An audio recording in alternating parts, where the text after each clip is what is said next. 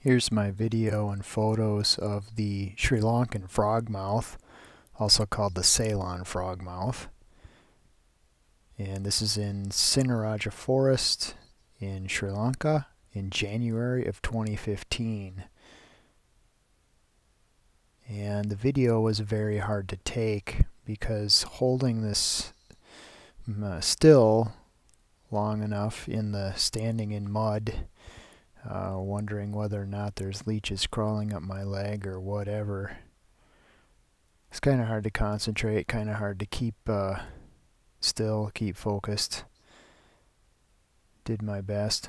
Took a lot of pictures, didn't take a lot of video. Very interesting birds. Nocturnal. They eat bugs at night.